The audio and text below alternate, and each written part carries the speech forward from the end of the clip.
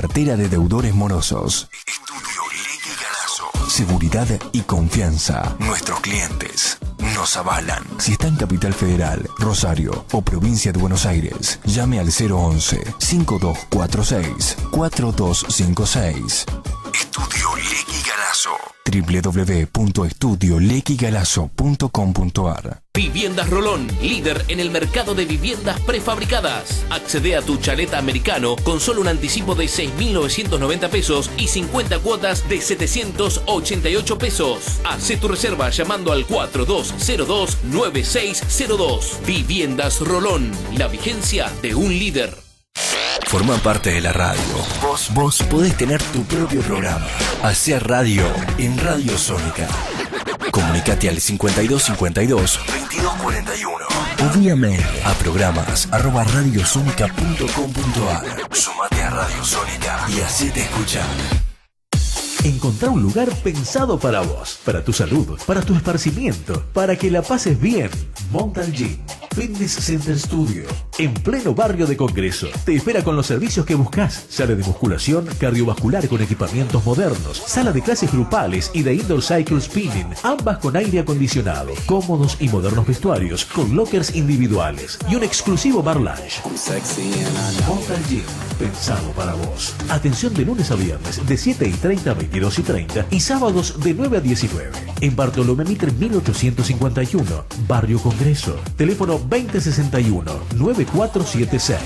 Visita nuestra web www.montalgym.wordpress.com. Email montalgym.somosprofes.com. Bienvenidos a bordo. ¿Querés hacer un viaje diferente?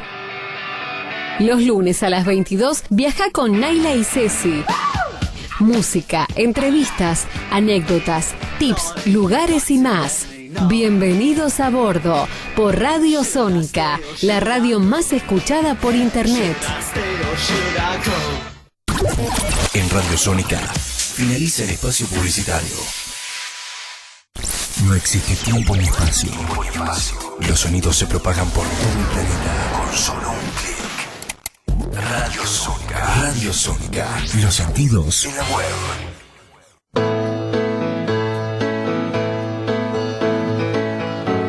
Cuando no recordamos lo que nos pasa, nos puede suceder la misma cosa. Son esas mismas cosas que nos marginan, nos matan la memoria, nos queman las ideas, nos quitan las palabras. Buenas noches, estamos en una nueva emisión de Luces y Sombras de nuestra historia. Les recuerdo a los oyentes nuestros teléfonos para que se comuniquen y también lo pueden hacer vía la página de Facebook. El teléfono es 4371-4740 y también nos pueden mandar WhatsApp al 1122 62 77 28. Bienvenido, doctor Javier Garín. Bienvenido, Pepe Muñoz Aspiri. Buenas noches Marina, buenas noches Javier y buenas noches los compañeros que hoy no nos pueden ayudar, que son Dani Mujica y el... Y Pablo Martínez Ambe, que está haciendo un lindo viaje por Europa con su está, mujer. Sí, está sufriendo terriblemente por los jardines de Viena, si no me equivoco. Anda, anda recorriendo ahí los pagos de, de Wolfgang Amadeus. Mozart, sí. Damos la bienvenida a nuestra operadora, que es una genia total. y antes de empezar el programa, que va a estar dedicado, anticipándonos al Día Internacional eh, del Trabajador, justamente a eso, ¿no? A los trabajadores. Antes de empezar nuestro tema, eh, quería preguntarle al doctor, porque veo que acá tiene su libro que está a punto de presentar en la Feria del Libro, ¿verdad? Que es, se llama Anticristo, historia de una profecía jesuítica sudamericana, de Manuel Lacunza y Manuel Belgrano al Papa Francisco, que es este que tengo acá en mis manos. ¿Cuándo lo va a presentar y va a ser, digamos, la firma de ejemplares y dónde? Bueno, lo, lo- vamos a hacer una firma de ejemplares el día sábado en la Feria del Libro, sábado 5 de mayo, de 19 a 20 horas. Están todos invitados.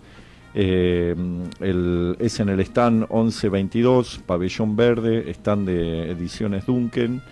y seguramente después haremos otras otras presentaciones, pero esta va a ser, digamos, la, la presentación en sociedad del libro, que la verdad que me llevó un tiempo largo de investigación, pero me ha dejado bastante satisfecho. Es un libro un poco eh, raro, curioso, que tiene que ver con la historia de un teólogo jesuita chileno, eh, Manuel Lacunza, cuya obra, La Segunda Venida del Mesías en Gloria y Majestad, eh, fue impresa, publicada por Manuel Belgrano en 1815 en Londres, pagada de su propio peculio, porque Belgrano consideraba que era de gran importancia que se conociera las doctrinas teológicas de Lacunza y la verdad es que este, tienen muchas particularidades. Eh, parte del libro está dedicada a, investigar o a contar la historia de, este, de la repercusión que tuvo este libro. Tuvo una fuerte repercusión dentro de la Iglesia Católica hasta que fue prohibido. Eh, después dio lugar al nacimiento de varias congregaciones religiosas, este, algunas de ellas protestantes y dio lugar eh, a un movimiento dentro de la Revolución de Mayo de lacuncistas, en los cuales se contaban Manuel Belgrano, Juan Ignacio Gorriti, el deán que bendijo la bandera, y muchos otros, eh, los hermanos Ambrosio y Gregorio Funes, es decir, hubo el eh, este, el autor de la oración patriótica, como es, eh, no recuerdo el, en este momento el nombre, pero bueno, un, un famoso cura que participó del, del movimiento independentista, todos los católicos que de alguna manera se identificaron con la revolución seguían los pasos de la Cunza. Entonces esto me interesó mucho, tratar de ver por qué había tenido este jesuita tanta influencia y por qué después fue dejado de lado en el seno de, la iglesia, no, prohibido, pero digamos, no se desaconsejó su, su publicación. Bueno, eso eh, sucede siempre con todos los jesuitas. Estábamos hablando el otro día de Castellani, porque los tres grandes misterios de la iglesia es de qué viven los franciscanos, cómo se administran los mercedarios y qué cuernos piensan los jesuitas. Eh, fíjate, vos estás hablando de la cunza. Lo que yo desconocía y que para mí es un verdadero descubrimiento era esta faceta apocalíptica de Belgrano. Verdaderamente es una sorpresa para mí. Y no solamente de Belgrano, sino de los prohombres que acabas de, sí. todos ellos Todos ellos creían que había comenzado, eh, porque esta es una de las tesis de la Cunza, que había comenzado el eh, reinado del anticristo, de alguna manera, porque no era convencido, eh, este, concebido como un individuo, sino como, digamos, la creencia tradicional que el anticristo era un rey que iba a dominar el mundo, eh, la Kunza plantea una idea que en realidad no es original de él, viene de antes de, de, los primeros padres de, la iglesia, eh, pero que había sido dejada de lado eh, antes de Tertuliano, incluso ya se hablaba de, la idea de que el anticristo no iba a ser un individuo, sino un espíritu, una, un sistema. Un sistema, claro. Se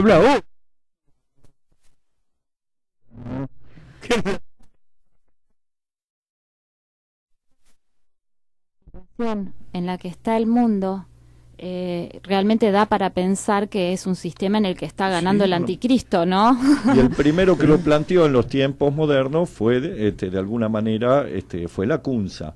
Y este, dio lugar a refutaciones. Por ejemplo, el cardenal Newman escribió este, cuatro sermones sobre el anticristo, eh, justamente para refutar la idea del anticristo colectivo de la Cunza y este, la verdad es que por más que lo intentaron eh, refutar, está muy bien fundamentada teológicamente en, el texto de las escrituras la idea de un anticristo colectivo. Incluso San Juan, en una de sus epístolas, el autor del Apocalipsis, dice, el anticristo ya está entre nosotros, ya está entre nosotros. Y este, lo digamos, muchas de sus expresiones da eh, lugar a pensar en lo que afirma la Cunza, la idea de este, un movimiento moral, un cuerpo moral compuesto por innumerables individuos, de los cuales los estados, las grandes potencias, son las armas. Por más que simulen pelearse entre ellos, sostiene la CUNSA, son parte de este, un mismo camino de, destrucción. Son ejecutores de un mismo plan maestro, que es un poco, bueno, la teoría de varios conocidos nuestros dados a las conspiraciones. Algunos tienen programitas en televisión por cable, otros por internet, y que siempre están viendo debajo de la silla o demonios o masones o sociedades secretas, que algo de eso existió, obviamente, los estados nacionales eh, modernos como Italia y Alemania se hacen con pequeñas sociedades o grandes sociedades secretas como los carbonarios, pero este adquieren otras características, ¿no? Ya revestidas, como también el Tea Party, que es una secta, vos dijiste que justamente esta, eh, este eh, enfoque fundamentó también ciertos sectores protestantes. Claro. por ejemplo, este, la, iglesia adventista del séptimo el, varios movimientos, algunos de ellos eh, que se originaron en, Inglaterra y otros en Estados Unidos. ¿Anabaptistas? Eh, no, eso es ah. anterior, no, eso es un movimiento protestante que viene de, de, la revuelta de los campesinos en, en ah, Alemania. Pero sí tenían algo en común, tenían algo en común que eran las doctrinas milenaristas. ¿En qué consiste? Porque esto también tiene que ver con por qué los sectores políticos revolucionarios tomaron en cuenta las doctrinas de la CUNSA. Es, eh, en parte es por el milenarismo, la idea, la creencia que sostenía la CUNSA y que sostenían los primitivos cristianos, que después fue abandonada, de que iba a haber un reino de mil años en la tierra de Cristo y una nueva Jerusalén. La, instauración de una nueva Jerusalén, que es un reinado utópico donde se acaban las injusticias, se acaba la opresión. Sí, la ciudad San Agustín pensaba que eso ya había sobrevenido con el advenimiento de la Iglesia Católica. Mientras que la Cunza sostenía que la Iglesia Católica eh, no era el, reino de Cristo. Era un prolegómeno. Claro, y que en algún momento parte de la Iglesia, decía él, se va a convertir en este, una, un arma del anticristo también, porque sostenía la Cunza junto con otros intérpretes del del Apocalipsis, la gran ramera de la que habla este San Juan en el Apocalipsis, que está sobre siete colinas, no sería otra que la Roma católica. Pero es lo que mm. plantean ciertos sectores del catolicismo tradicional en este momento en su... Estoy hablando de los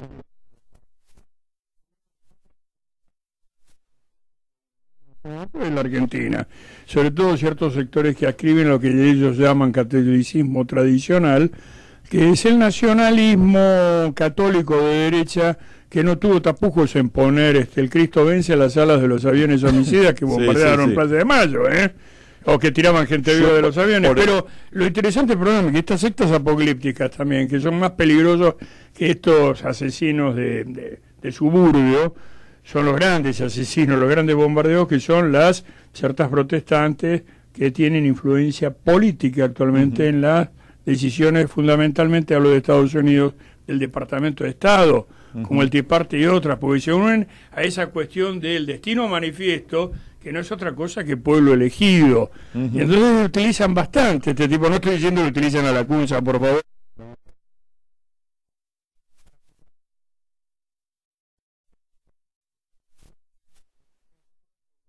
El, el eh, movimiento apocalíptico, el milenarismo ha estado históricamente más vinculado, más que a los sectores de derecha, ha estado vinculado a los sectores eh, desposeídos que encontraban en la promesa de la Nueva Jerusalén. Sí, una válvula de escape. Claro, algo similar a lo que fue el socialismo, digamos. una válvula de escape. Exactamente, por eso los anabaptistas o Tomás Munzer o los, este, los campesinos que se este, rebelan en Alemania en la época de la, del protestantismo, de Lutero, mientras Lutero este, intenta impedir la revolución social, hay un sector que se revela que son este, los que responden a Tomás Munzer, que era un predicador milenarista. Y esto mismo ocurrió a lo largo de toda la historia, incluso entre los primitivos cristianos, la idea del milenarismo estaba fuertemente arraigada. Después fue dejada de lado cuando leí. Esto es parte de lo que estudio en el, en el libro, ¿no? El proceso de cómo el milenarismo es este, dejado de lado a medida que la Iglesia se va consolidando como la religión oficial del Imperio Romano, ¿no?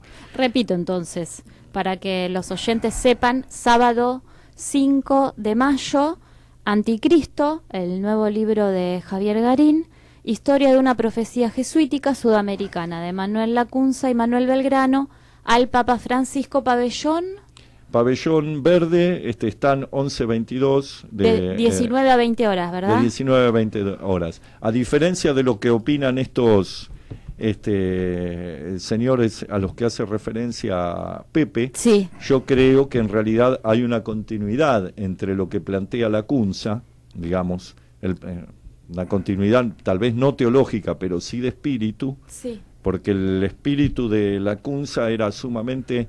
Eh, contestatario, ¿no? este, hay una continuidad entre ese espíritu contestatario, que es lo que atrajo a los revolucionarios de Mayo, y este, el espíritu, por ejemplo, del Concilio Vaticano II. o de este el Papa actual. Creo que está más cerca de ese espíritu de la Cunza el, el Papa eh, que los que piensan se oponen a él, digamos. Muy interesante, la verdad el tema eh, no es nada esotérico, no se imaginen eso porque una vez ve la tapa y va a pensar que es una cuestión más esotérica y de profecía que, otra cosa, pero es un libro histórico. Es histórico, tiene su parte esotérica porque, digamos, se trata también de ver qué valor pueden tener las profecías. No, tal cual, sí, porque, sí, sí. Este, algunos le, le, quitan todo valor y yo soy de los que, sin ser, digamos, un, un católico practicante, creo, sin embargo, que las este, profecías tienen un valor psicológico, moral e histórico y que las tenemos que este, escuchar, que no son en vano, y que, son advertencias que este, una sabiduría muy antigua este, le ha hecho a la humanidad y que han movilizado procesos históricos, tienen esa influencia, ¿no? Como todo lo simbólico y todo lo mítico. Exactamente. Este, Sí, es muy interesante. Y que aparte todas las religiones tienen su costado profético. Netamente. hay que decirlo. Y que no todos los procesos políticos se rigen exclusivamente por variables económicas. hay de otro tipo. Es muy interesante. Este, lo profético sí tiene mucho que ver. Sí, sí. Claro, a lo mejor le vemos y le buscamos la veladura económica detrás de lo profético. Bueno, ellos se encargan bastante mis amigos psicoanalizados que buscan veladuras y los muchachos economicistas, sobre todo de la izquierda nacional, no voy a dar nombres, pero dos o tres que te vuelven loco. Pasa que hay un... Ya no encuentran un sentido económico hasta cuando levantás la tabla del inodoro. ¿Por qué la levantaste así y no de otra forma? Bueno, pero, digamos, eso del, del, economicismo es parte del anticristo también, digamos, es parte de esa mentalidad de apostasía, de ¿Ah, abandono De, de los... Para mí el anticristo lo entiendo así, como tal vez lo entendía la Cunza.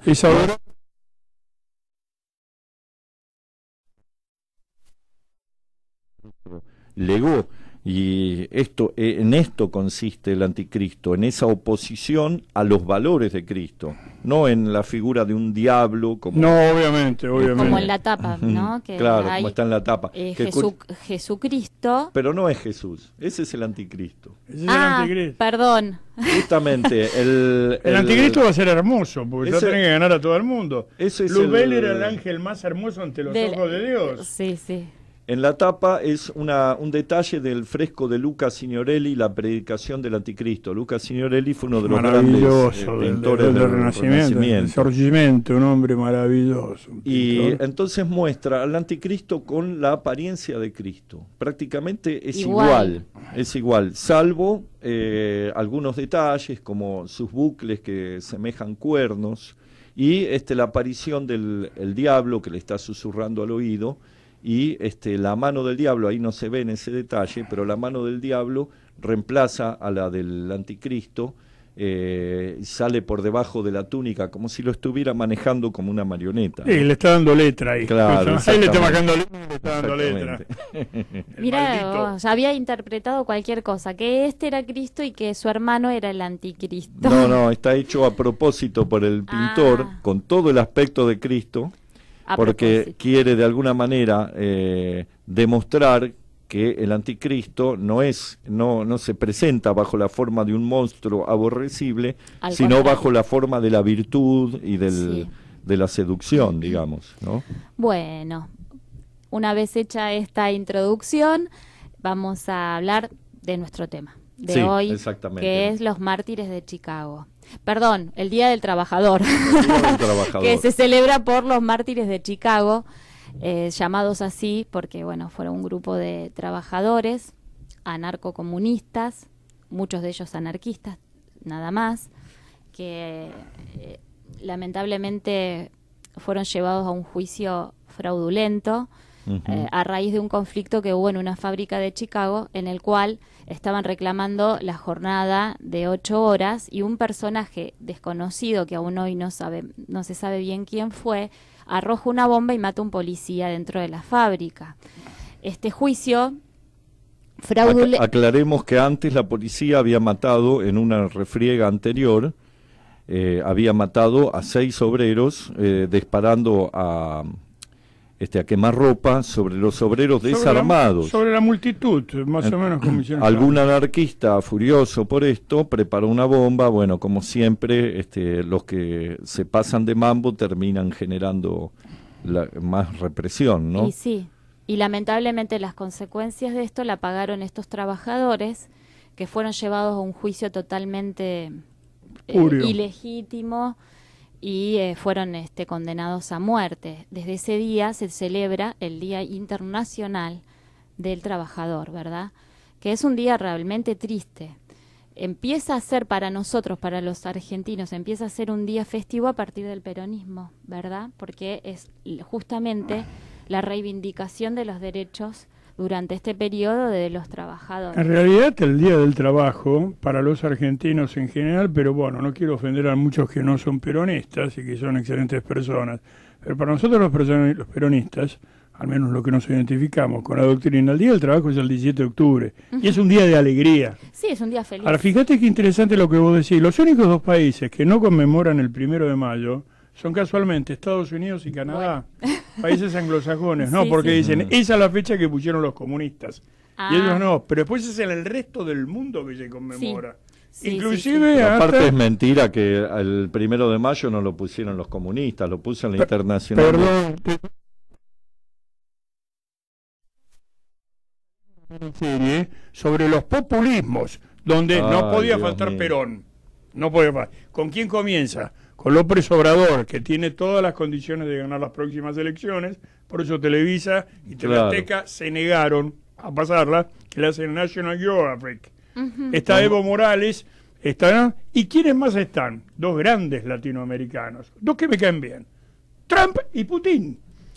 Porque ahora justamente quieren ponerlo a Trump como el Perón latinoamericano, perdón, norteamericano. Y de la misma manera que Evita para ellos vendría a ser Carmen, eh, una que llama bananas en la cabeza. Carmen Miranda. Carmen Miranda, una, pues la visión que, sí, cualquier cosa, pero cuidado, que a través de National Geographic todo esto logran imponer y esmerilar cabezas. Es como, escuchas tipo que te dicen, mira, yo me banco cualquier cosa, hasta el himno este, argentino interpretado por la Fuerza Aérea. Lo importante es que no vuelvan los cacas que estuvieron antes porque se afanaron un Producto Bruto Interno. ¿De dónde sacaste esa información? ¿Quién te la dio? ¿Qué entendés vos que es un Producto Bruto Interno? Es decir, determinadas cosas, como también dentro del kirchnerismo habían otras fantasías, que a fuerzas de imponértela te van esmerilando, porque es el agua de, la gota de agua que hora la, este, la piedra. Bueno, pero para, para eso... Este... Pero volviendo al 17 de octubre, ese, porque es verdaderamente que inclusive está tan bien cantado por Hugo del Carril, todo el sentimiento que y no la tragedia, que bueno, se conmemora el primero de octubre también, y así como este, estuvo este hecho trágico, nosotros tenemos lo que sucedió en los talleres Bacena, porque todavía no estábamos industrializados, que es 1919, la semana trágica. Hay que ver todo.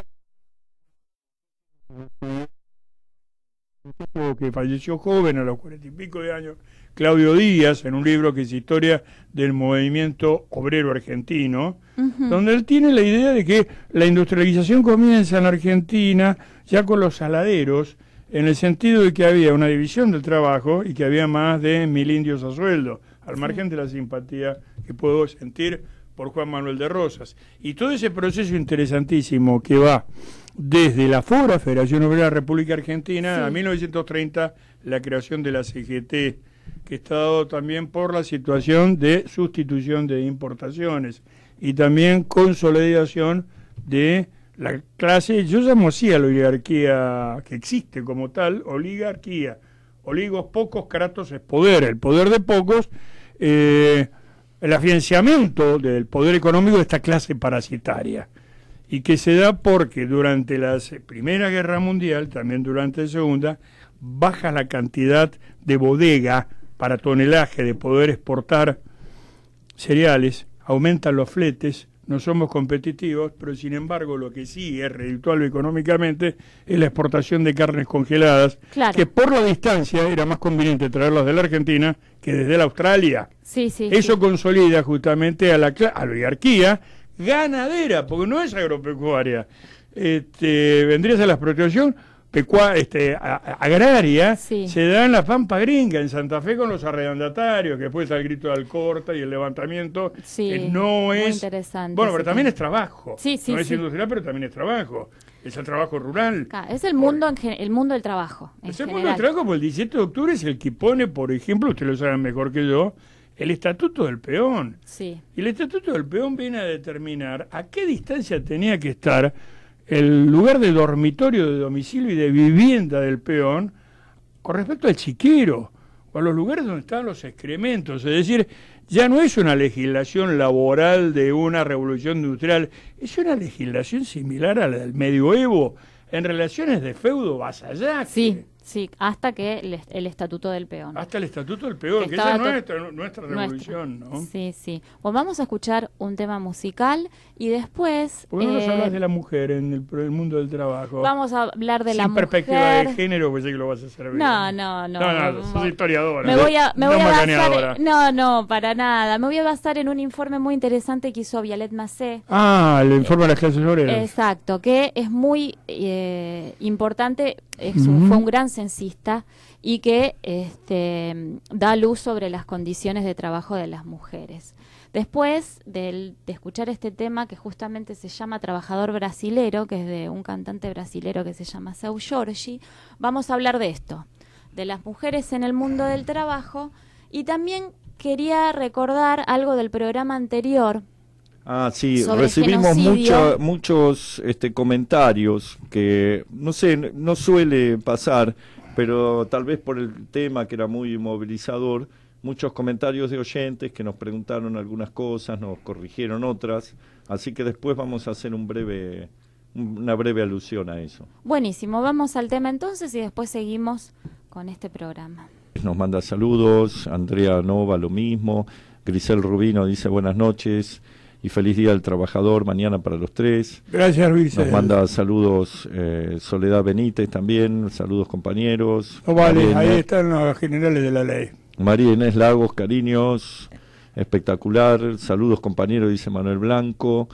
Eh, Alicia Paz dice leer y releer el Estatuto del Peón pone de manifiesto lo medular del modelo del Estado de Bienestar en Argentina, como leer la Constitución de 1949, Exacto. abrogada por el gobierno de facto que derrocó a Perón. Después Letu Rodríguez nos manda buenas noches y bueno, el, eh, de todo un poco. De todo un poco, exactamente. bueno, Javier, entonces, ¿cómo fueron los comentarios? Sé que fue un tema bastante controversial el del programa anterior, hablamos del genocidio armenio, del holocausto judío, del genocidio de Namibia. Eh, si nos podés leer alguno de los cuestiones que quedaron en el tintero, quizás. Algunas cuestiones que este, nos manda Pipo Pistelli, que es un seguidor de nuestro programa y eh, muchas veces ha estado acá hablando también como historiador. Sí, sí, ha participado Pipo. Y nos dice Pipo que este, él entiende tal vez que por falta de tiempo no hemos mencionado uno de los grandes este, genocidios que hubo en el siglo XX, que es el de Camboya. Y tiene ah, razón. ¿verdad? el de Bruges, sí. Sí, se ha convertido en un hecho espantoso, en, donde realmente hubo una masacre de campesinos en nombre de la ideología, ¿no? Sí. Eh, en nombre de la revolución han masacrado eh, una cantidad impresionante de gente que ese, este, hoy en Camboya se exhiben lo- los cráneos de... Pero son pirámides, parecen los Pirámides John, de cráneo. los John Pantley de los aztecas. Eh, qué bueno, Pipo nos hizo acordar esto, Sí. ¿verdad? Sí, Una sí, misión. Eh, Lo, lo de Camboya fue horrible. También, también nos dice que este, el tema de Armenia tengamos presente el- la hipocresía de la ONU, que este, a pesar de que muchas veces se llevó el tema, nunca se terminó de declarar como... Es muy cierto como- eso, eso había que, acla- que aclararlo porque nunca se terminó de, de- de definir eh, Para no- legalmente como un genocidio. Pero ¿no? para no ofender al hombre enfermo de Europa, como siempre se consideró a Turquía, que era una alianza. Porque era una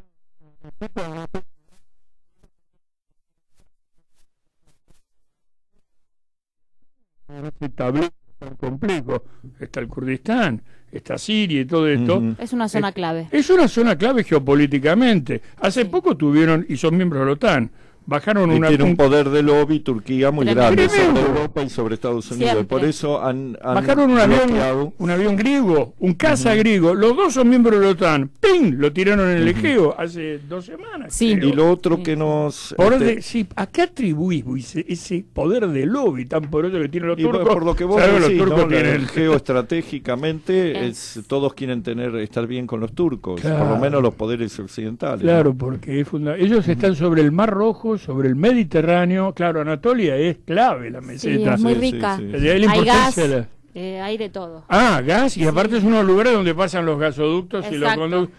¿Cómo determina la geografía también, no? La geopolítica. Es muy Y determinante. después, claro, de- y después este, lo otro que este, algunos comentarios que tienen que ver que este, al final quieren saber, nos plantean, bueno, pero ¿cuántos fueron los desaparecidos en Argentina? Y yo voy a volver a lo que a lo que dijimos la otra vez. Sí. no pasa por el número. No pasa por el número. Hay, este, hay estimaciones que van desde los 9.000 que habla el nunca más, que son lo- las este, denuncias, lo denunciado. Sí. Es un número, ¿eh? Sabemos que ese no es el número total porque hay muchos casos de desaparecidos que fueron denunciados y no están que no fueron denunciados. ¿eh? en el interior Sí. sobre todo y este lo- los organismos que desde hace muchos años hablan de 30.000 entonces entre esos dos números eh, seguramente estará el, el- el número de desaparecidos que ha habido durante la dictadura. Lo que nosotros consideramos también, y lo hemos dicho la otra vez en el último programa,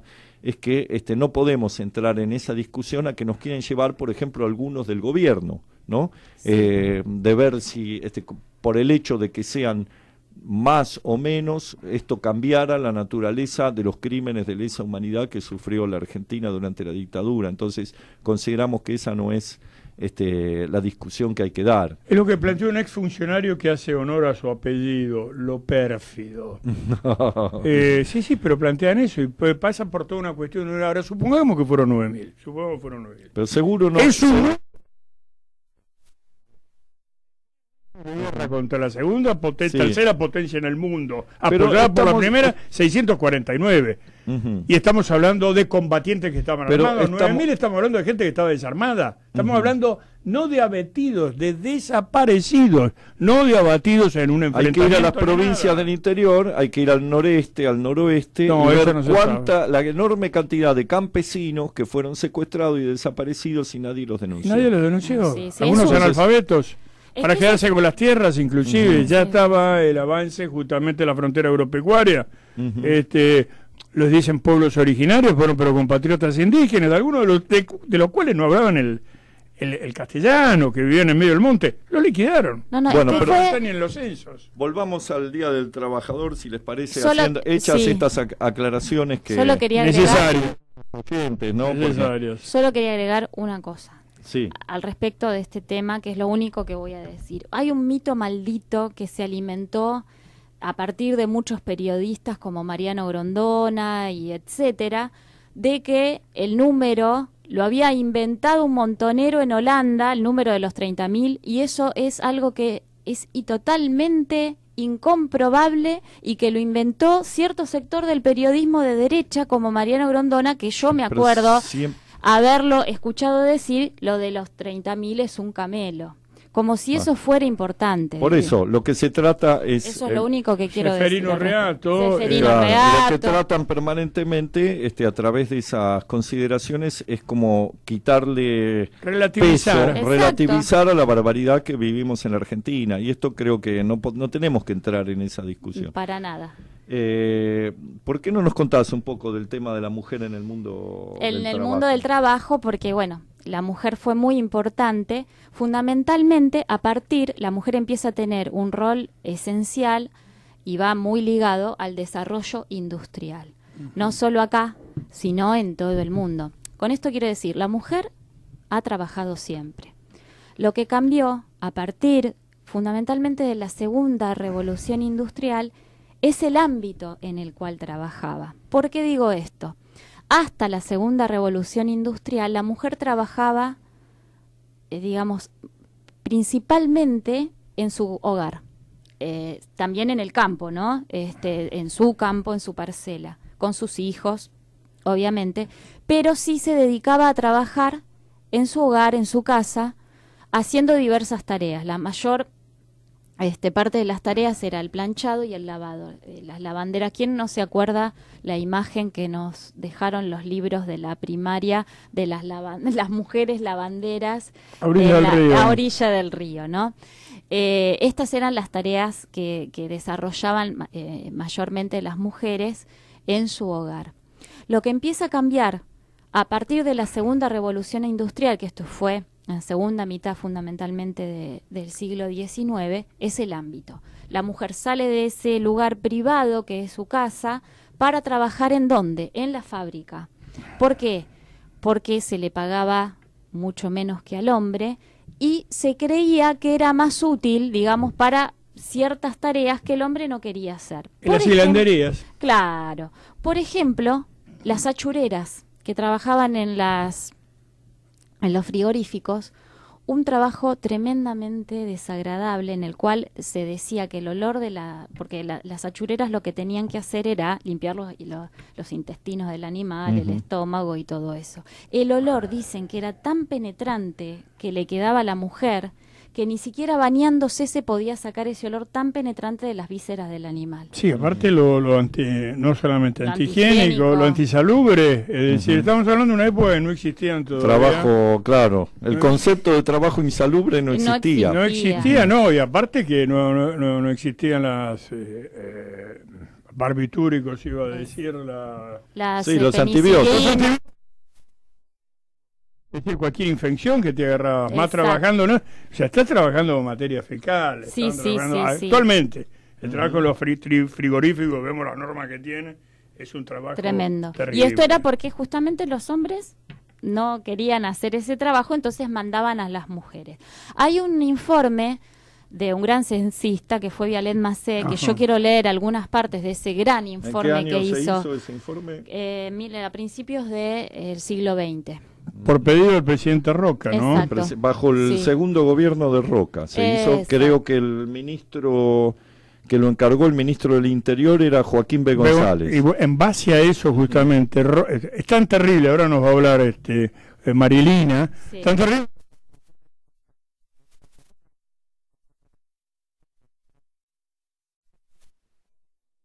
Claro.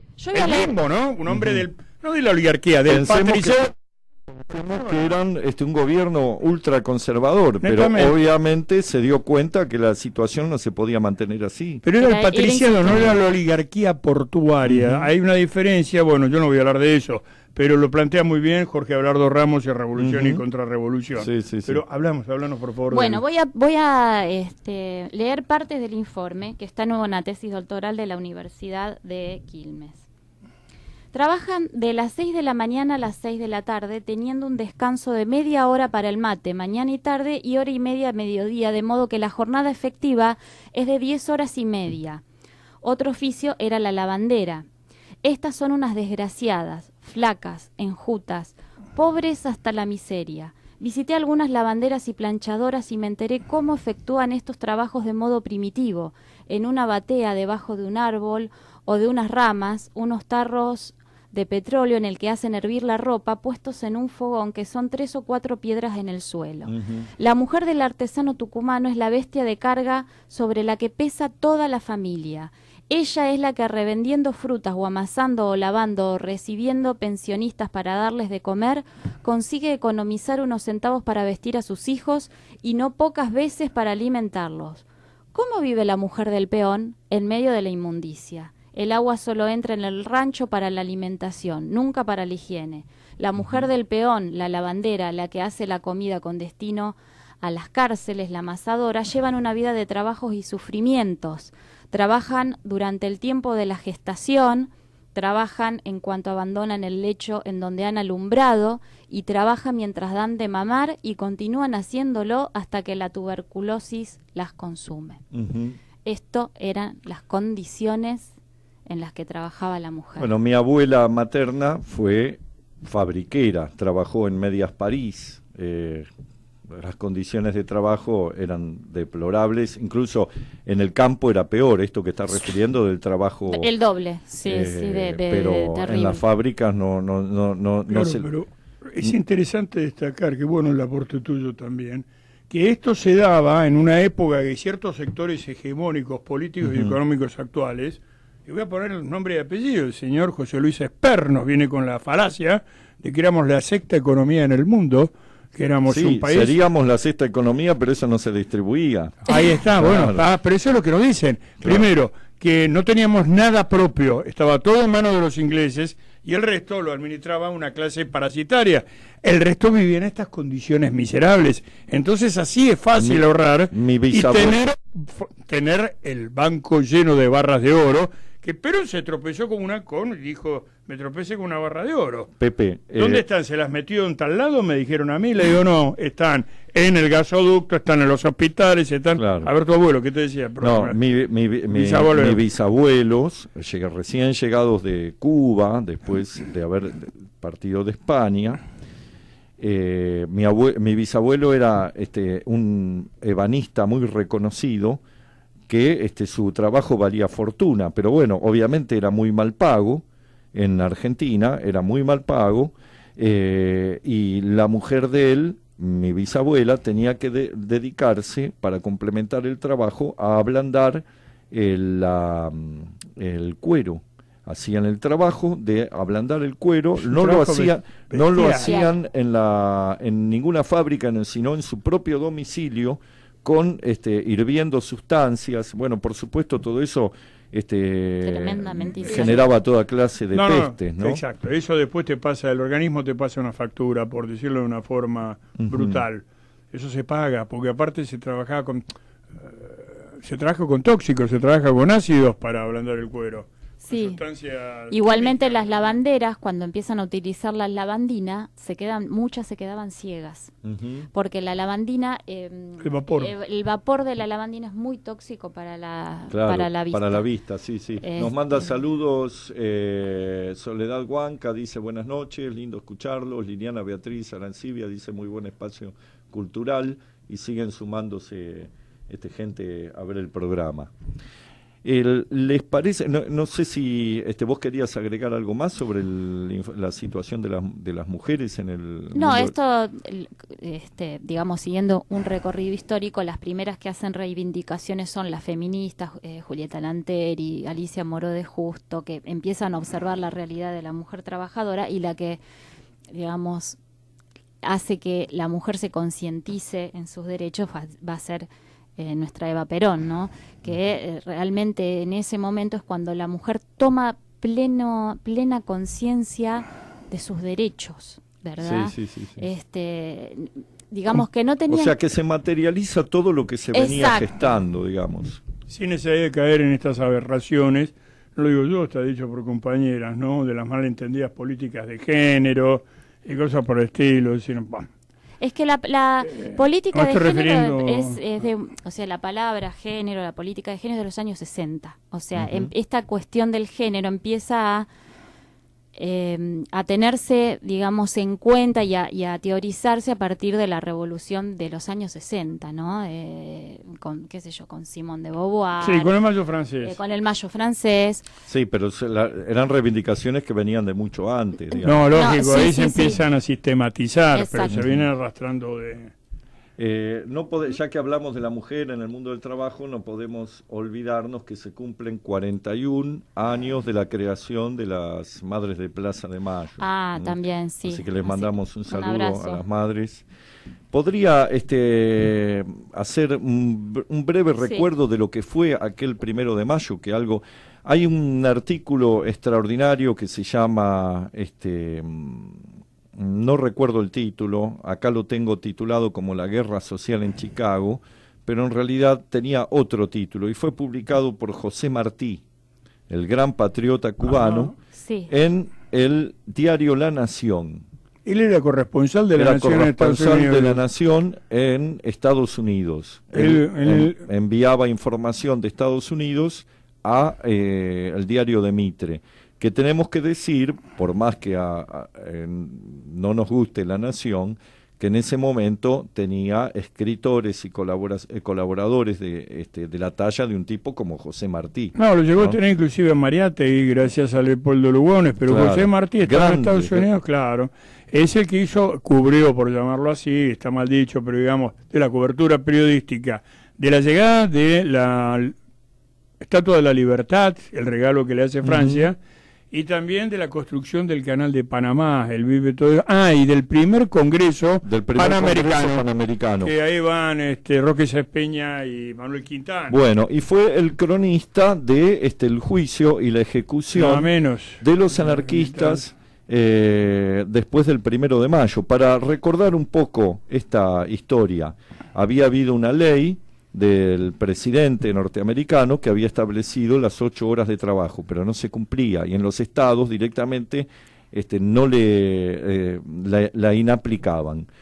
El movimiento obrero, este, organizado a través de los anarcosindicalistas y los sindicalistas, comenzó una lucha a través de huelgas para pedir el cumplimiento de las ocho horas de trabajo. Sí. Esa lucha fue en escalada, y en determinado momento había una fábrica, este hey, eh, McCormick, ah. McCormick este, una empresa que hacía este, eh, maquinarias industriales que este, decidió no eh, aceptar, no acatar la huelga y no acatar las mm. ocho horas de trabajo y este, contratar lo que se conoce vulgarmente como carneros, que eran mm, trabajadores desempleados que estaban muertos de hambre, que no, no, eran villanos, eran víctimas también. Entonces este, la, fábrica siguió trabajando. El primero de mayo fue el primer acto, pero en los sucesivos días, el, el 2, el 3, el 4, el conflicto fue en escalada, a tal punto que en determinado momento va la policía a reprimir eh, porque se producen enfrentamientos a la salida de esta fábrica, ¿no? Entre los manifestantes, los huelguistas y los carneros, digamos. Va la, policía y este, abre fuego sin provocación y mata a seis obreros.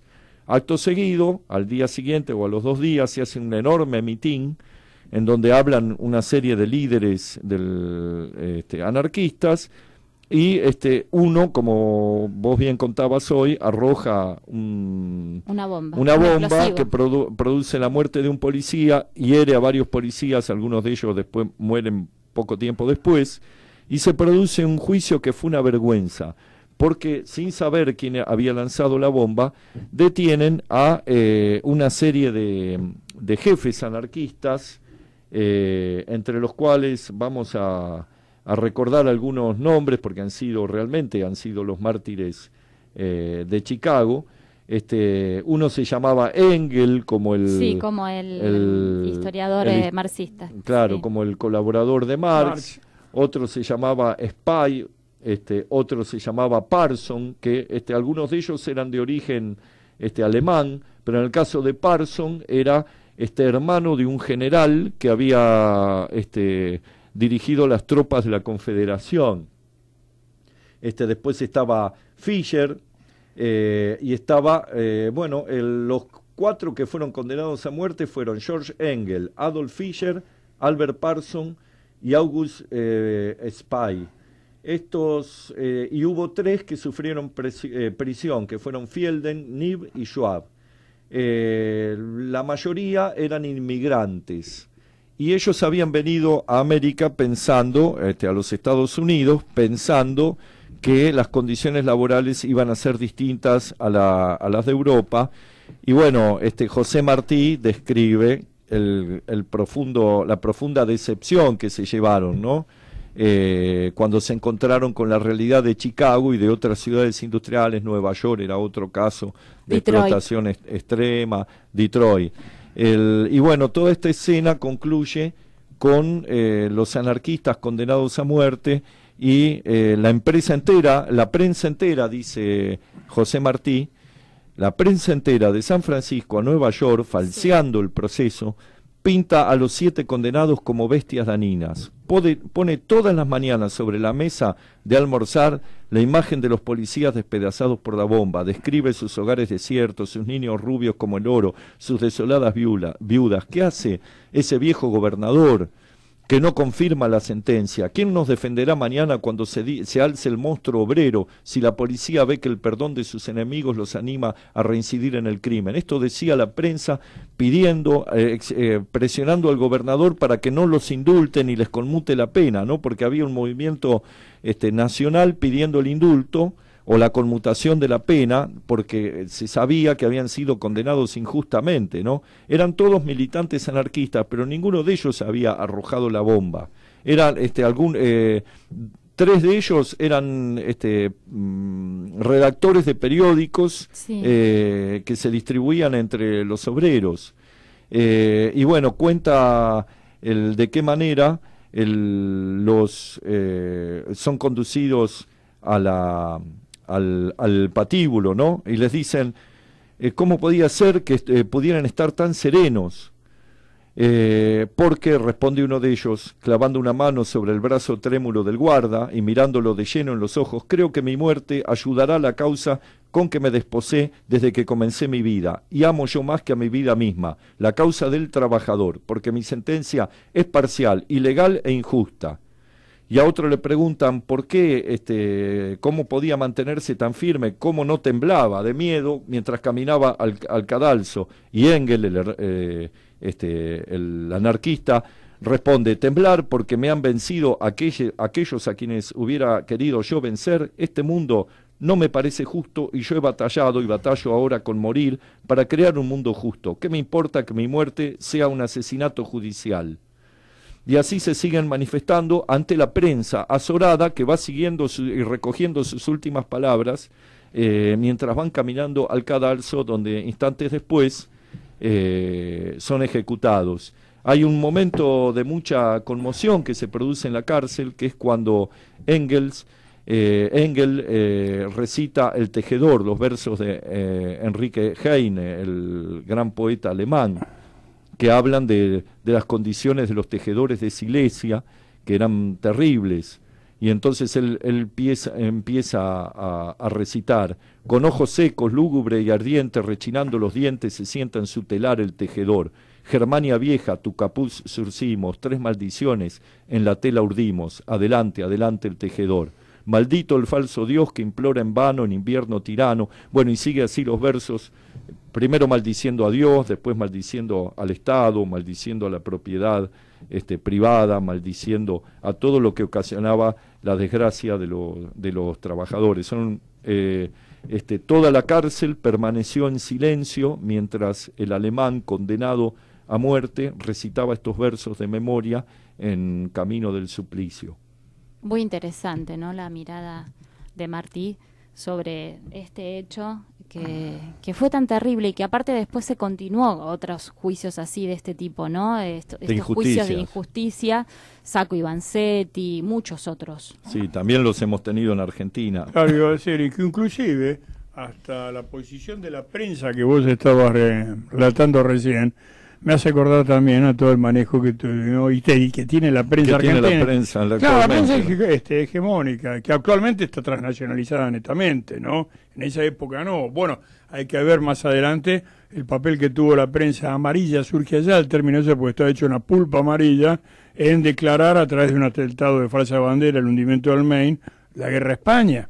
La guerra claro, aclaremos, José Martí obviamente no, no comulgaba con los anarquistas, ni mucho menos con el atentado con una bomba, pero digamos, se vio este asombrado de la eh, parcialidad, del juicio, y de la forma como incluso describe, este porque hubo una este, uno de los condenados era un alemán muy joven, muy eh, apuesto, muy bello, y, este, y una joven de la alta sociedad, se dieron todas esas circunstancias, ¿no?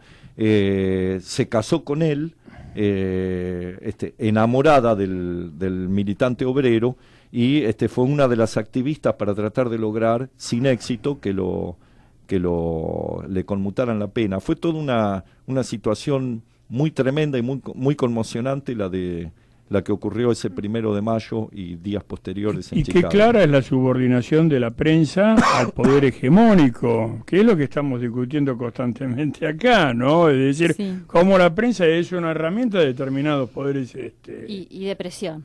Fundamental. Hablando de todo eso de cadalso va a caer este, la Ha llegado el momento que seremos ejecutados. Sí, exactamente. Necesitate algo. bueno, repetimos entonces que el doctor Javier Garín va a presentar su libro Anticristo en la Feria del Libro el día sábado 5 de mayo de 19 a 20 horas en el Pabellón Verde. Pabellón Verde eh, están eh, 1122 eh, de, de, Ediciones Dunkel. Muy bien, bueno, les mandamos un saludo muy grande a todos nuestros oyentes, un abrazo a todos los trabajadores argentinos y bueno, que pasen un, un feliz feriado y nos vemos el... Feliz Día del Trabajador. Feliz Día del Trabajador, nos escuchamos. Nos vemos el próximo lunes de 20 a 21 en Luces y Sombras de nuestra historia. ¿Quién quiere oír que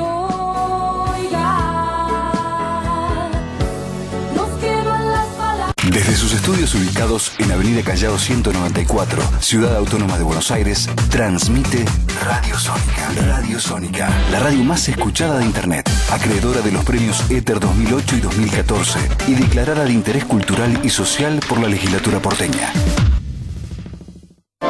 Una nueva hora.